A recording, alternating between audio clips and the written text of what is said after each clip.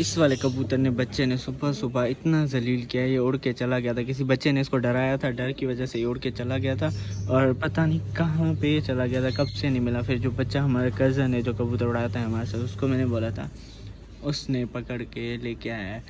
ऐसे घर के पास चला गया था जहाँ के बच्चे बहुत ही तेज़ हैं, वो कबूतर हमें वापस ही नहीं देते कभी। तो उनके पास चला गया था, उनका भी एक कबूतर हमारे पास आया था, पर हमने दे दिया। तो वो वापस ही नहीं करते कभी कबूतर हमें। तो उनसे लेके आए ये ये देखें, यहाँ पे बैठा हुआ इसके भाई जो दूसरा है, वो ऊपर छत पे, बाकी सारे कबूतर छत पे हैं। और ये अभी बैठे हुए हैं, इनको डाइट वगैरह दे दी थी सुबह की मैंने। और बाकी ये भी अंडों को इनकी वेट कर रही है अच्छे से। और ये भी इधर बैठा हुआ है, बाकी ऊपर छत पे बैठे हुए हैं। ये रहे, ये तीन, ये दूसरा वाला बच्चा है और ऊपर से ये दो। बाकी एक और बच्चा गायब है तो उसको देखते हैं वो कहाँ है। ये देखें, दो बच्चे गायब थे जो कि यहाँ पे बैठे हुए मैं कब से इनको ढूंढ रहा था, ये इस वाले पेड़ के बच्चे हैं। ये जो कब से नीचे बैठे हुए मैं इनको ढूंढ रहा था ये भी डर की वजह से नीचे चले गए। सारे कबूतर डर गए थे, बच्चों ने इनको डरा दिया था, इस वजह से वो वाला भी उड़ गया था और बाकी ये भी अंदर चले गए। तो ये शुक्र है, ये वापस आ गया सबसे बड़ा बच्चा इनका। अस्सलाम वालेकुम दोस्तों, कैसे हैं आप सब? उम्मीद है सब ठीक होंगे तो अभी जा रहा हूँ मैं बाहर और मुर्गियों को देख लेता हूँ मैंने कब से उनको नहीं देखा। तो जाते हैं बाहर अभी और उनकी डाइट वगैरह का देखते हैं कि क्या हुआ है।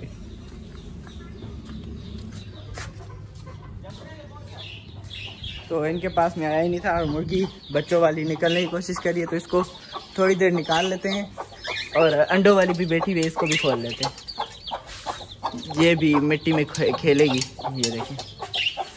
ये भी मिट्टी में जाएगी और इनको दाना वगैरह डाल दिया था, अभी इनका पानी रहता है। क्या हो गया? तुम जाओ बच्चों के साथ थोड़ा घूमो फिरो। और अभी इसको भी मैंने खोल दिया था कि ये मिट्टी वगैरह में थोड़ा घूम ले, खेल ले, सॉरी, घूमेगी नहीं मिट्टी में।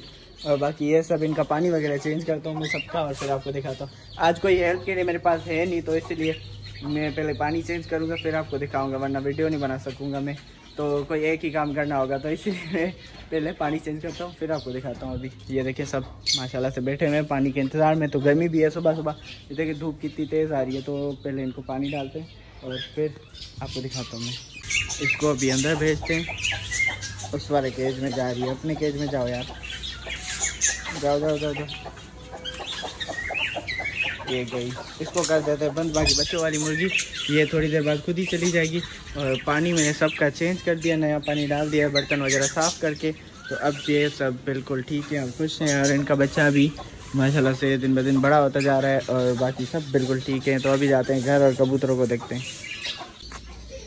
तो जी, आज सुबह मुझे एक सरप्राइज़ मिला था तो मैंने सोचा मैं शाम को आपको दूँगा। तो सरप्राइज़ मुझे भी नहीं पता था, मैं आज आके देखा है। और ये सरप्राइज़ ये है कि लकी कबूतरों का भी बच्चा निकल आया है। मैं आपको दिखाता हूँ। ये देखिए बच्चा इनका। तो लकी कबूतरों का भी बच्चा निकल आया है फाइनली देख सकते हैं आप कितना बड़ा हो गया।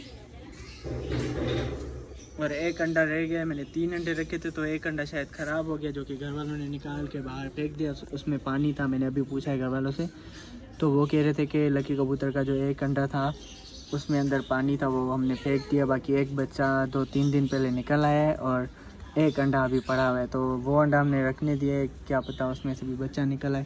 तुम क्यों इधर ऐसे बैठे हुए वो भी अंडों पे बैठे हुए और बाकी बच्चे और दूसरे कबूतर बाहर हैं, वो रहे वो रहे, तीन कबूतर इधर बैठे हुए और बाकी बच्चे पता नहीं कहाँ चले गए।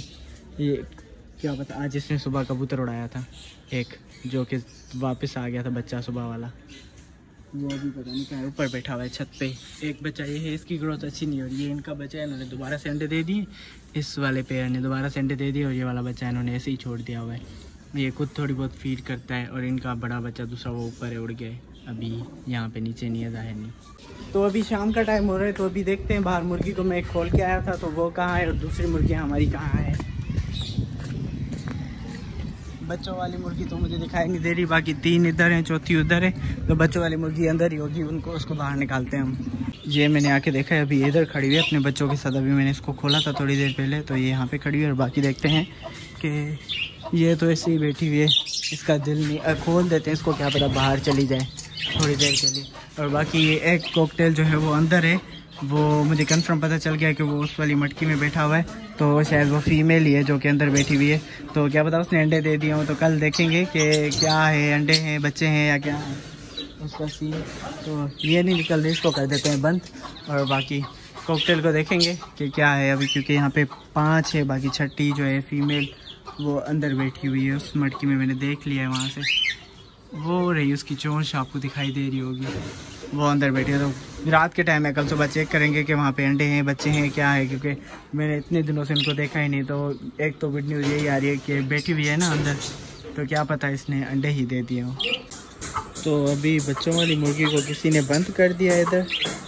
चार बच्चे दिखाई दे रहे हैं, इसके दूसरे का नहीं, पाँच है। बाकी वो भी बैठी हुई है, बाकी मुर्गियाँ बाहर है, वो खुद ही इस वाले डब्बे में चली जाएँगी। जैसे ही शाम हो जाएगी।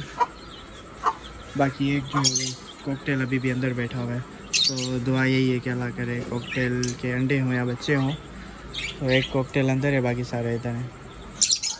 ये भी ठीक है, बिल्कुल। इन्होंने भी पता नहीं कहाँ कहाँ लड़ाई पूरा दिन इनका रात को तो पूरी रात इन्होंने लड़ाई कर लगाई हुई थी, जो है ना, लड़ रहे थे पूरी रात। फीमेल सारी इनकी ज़ख्मी हो चुकी है। इस वाली जि, जिसका ये बच्चा है वो तो ज़ख्मी वहाँ पे बैठी है वो देखें उसके पैरों पे ब्लड लगा हुआ है बहुत सारा। तो मुझे समझ नहीं आ रहा है क्यों लड़ती रहती हैं बस इतना लड़ती हैं बजीज़ तो उनकी मुझे कुछ समझ नहीं आती। बहुत ही ज़्यादा लड़ाई होती है बजीज़ की। जब भी देखो रात के टाइम इनकी लड़ाई चल रही होती है दिन को भी। पता नहीं क्या है, मुझे समझ नहीं आता बजीज का ये लड़ाई क्यों करते इतनी, और उसके बाद ये डव्स और इनकी कॉकटेल की अभी लड़ाई हो रही थी, मैं आ गया तो कॉकटेल हट गया, डव इधर आ गई। ये भी पता नहीं क्यों ब्रीड नहीं कर रहे, इतने दिन हो गए इनको भी। बाकी ये मुर्गियाँ भी आ गई हैं, बाकी ग्रे वाली मुर्गी बाहर है तो वो भी आ जाएगी, देखते हैं थोड़ी देर में। और बाकी सब इधर हैं, कबूतर भी सारे अपने अपने अपने घरों में जा चुके हैं। क्योंकि शाम का टाइम हो गया तो कबूतर भी अपने घरों में जा चुके हैं। तो जाके कबूतरों के देखते हैं सही से बंद हुए हैं या नहीं हुए। अभी रात का टाइम हो चुका है और इनको हम भूल गए थे तो अम्मी अभी इनको बंद करने लगी है, वो इनको बंद करती है सही से, और उसके बाद इनका तो मैंने लॉक लगा दिया था, ये यहाँ पे सारे अंदर है, बाहर भी सारे परिंदे और मुर्गियाँ वगैरह बंद है, और ठीक हैं। मुर्गियाँ तो बच्चे कह रहे हैं कि हमने बंद कर दिए, पर फिर भी मैं एक बार जाके देख लूँगा अभी थोड़ी देर बाद, और बाकी कबूतर अभी अम्मी वगैरह वाले बंद कर रहे हैं और बच्चे भी जो है ना कभी कभी कर देते हैं, पर अम्मी जो है वो ठीक से बंद करती है कबूतरों को। तो इसीलिए मेरी ये टेंशन ख़त्म हो गई, कबूतरों को सिर्फ़ अम्मी बंद करती है। तो अभी वो भी बंद हो जाएँगे और बाकी मुर्गियाँ सब ठीक हैं और आज का ब्लॉग जो है वहीं तक था।